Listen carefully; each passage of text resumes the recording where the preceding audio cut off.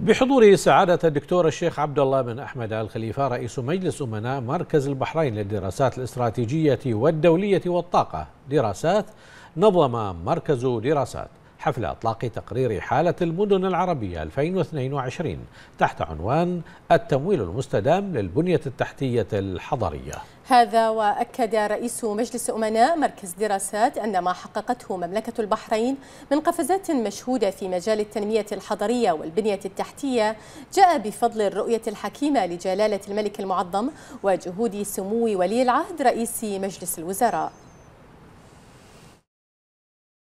تتويجا لتعاون مثمر بين مركز دراسات وبرنامج المستوطنات البشرية والبرنامج الإنمائي لدى الأمم المتحدة.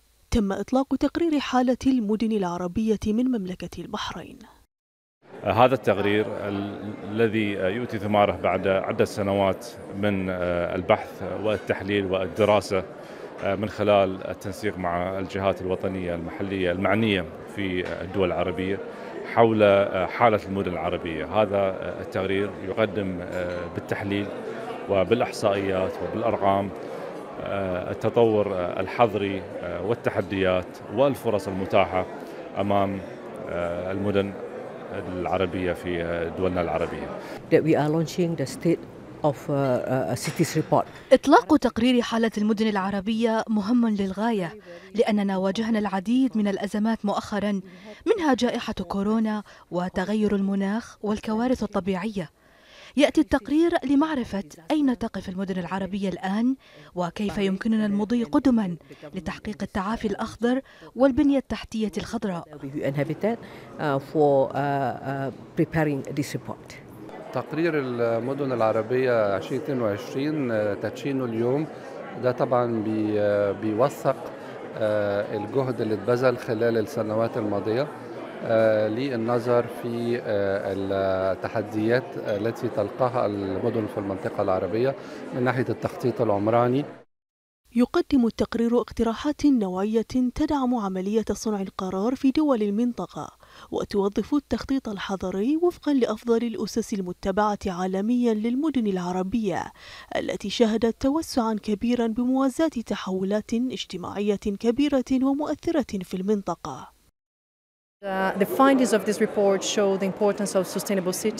تظهر نتائج هذا التقرير أهمية المدن المستدامة ويركز على الهياكل الحضرية وتمويل الهياكل الحضرية وإيجاد طرق بديلة لتمويل البنية التحتية مثل الإسكان والأماكن العامة وجعل مدننا أكثر استدامة.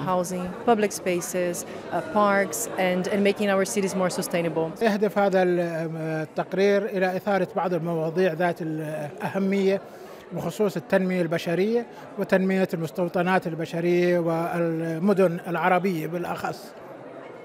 حيث هناك شواهد كثيرة على متغيرات فيما يخص المناخ وحركة السكان والهجرة الداخلية.